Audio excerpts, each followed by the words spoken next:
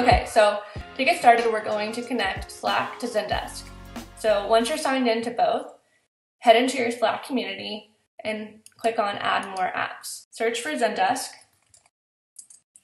and click Add. Click Add to Slack, hit Continue, and add your specific channel that you want Zendesk to be on. In this case, I want Zendesk on my support requests private channel and click install. Enter in your Zendesk domain, subdomain, which will be, when you hop into Zendesk, this right here. Click next and click allow, open Slack, open Slack again, and you'll see uh, Zendesk has been added to your Slack. When you uh, get over into your Zendesk app within Slack, you're going to hit this Get Started button and you're going to add ticket notifications to channels.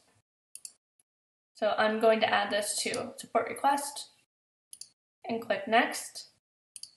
And I only want to receive new tickets. So I'm going to be notified when a ticket is created and click next. And I want the available groups to be support and click done. So now head over to support request and you can see Zendesk was added here for ticket notifications. So one of the benefits of having Zendesk integrated into your Slack community is the ability to create Zendesk tickets from messages within channels. However, since we only added Zendesk to one channel, we don't have this ability. For example, if you hop over into General and you click on these three dots, you can create a ticket or add an internal note.